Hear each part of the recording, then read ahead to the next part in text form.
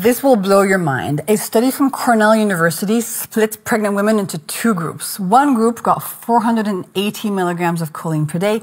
The other group got 900 milligrams of choline per day. Babies were then tested at 4, 7, 10, and 13 months. The results? The high choline group had a 20% faster reaction time, a marker that is linked to higher IQ as an adult. At seven years old, the kids were also assessed. The kids from the high choline group also scored better at memory and attention tasks.